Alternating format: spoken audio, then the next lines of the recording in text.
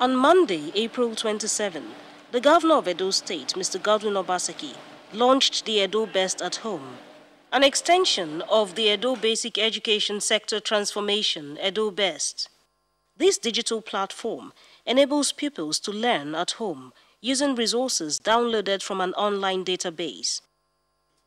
The state government says the platform is part of efforts to ensure there is no interruption in the academic calendar due to the partial lockdown in place over the coronavirus pandemic.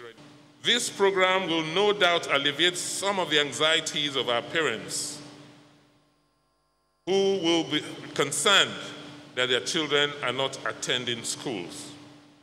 And it will provide a robust learning system that will positively engage the children during this period of partial lockdown. The e-learning is already in progress. Success in Imasuen, a mother of four, is having a class for her children at home.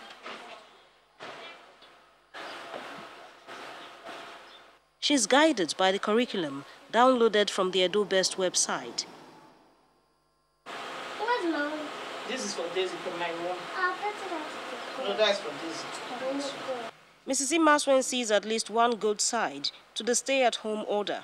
Because of this uh, COVID-19, uh, school didn't open. At least with this one, they learn and uh, uh, instead of a large classroom where the children will not be even be we feel free to interact with the teachers. But with this e-learning at home, they feel free to interact with, with, with the parents.